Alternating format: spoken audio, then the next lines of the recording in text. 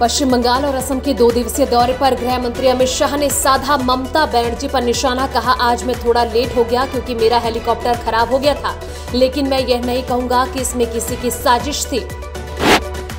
लखनऊ में भाजपा की एक दिवसीय प्रदेश कार्य समिति की बैठक में किसानों के मुद्दे पर बोले रक्षा मंत्री राजनाथ सिंह, कहा, केंद्र सरकार कृषि कानूनों में हर तरह का संशोधन करने और हर बातचीत के लिए है तैयार। मुख्यमंत्री ममता बनर्जी के नंदीग्राम में चोटिल होने की घटना को लेकर चुनाव आयोग की बड़ी कार्रवाई। आयोग ने पूर्वी मिदनापुर के एसपी प्रवीण प्रकाश को किया सस्पेंड। डीएम विभू गोयल व ममता बनर्जी के सुरक्षा निदेशक विवेक सहाय को भी किया पदमुक्त। केरल में होने वाले विधानसभा चुनाव के लिए मुख्यमंत्री पिनाराई विजयन ने धर्मधाम विधानसभा सीट से किया नामांकन दाखिल। केरल में विधानसभा चुनाव के लिए 6 अप्रैल को होगा मतदान।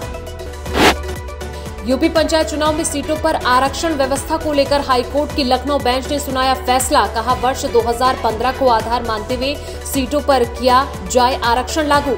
पूर्व राज्य सरकार ने कहा वर्ष 2015 को आधार मानकर आरक्षण व्यवस्था लागू करने के लिए है तैयार। एंटिलिया केस मामले में गिरफ़्तार मुंबई पुलिस के अधिकारी सचिन वाजे को किया गया निलंबित।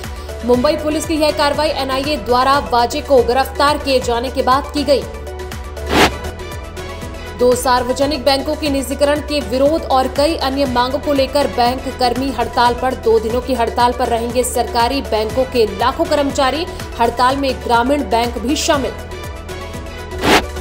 बजट सत्र के दौरान हरियाणा के मुख्यमंत्री मनोहर लाल ने भिवानी के मेडिकल कॉलेज के नाम को लेकर की घोषणा। कहा, मेडिकल कॉलेज का नाम स्वतंत्रता सेनानी पंडित नेकीराम शर्मा के नाम पर रखा जाएगा।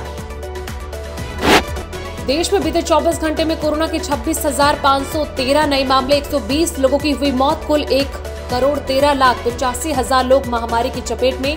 महाराष्ट्र में कोरोना की रफ्तार सबसे ज़्यादा बढ़ा रही है चिंता।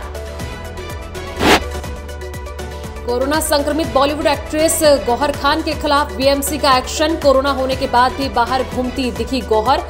बीएमसी ने एक्ट्रेस के खिलाफ की एफआईआर दर्ज।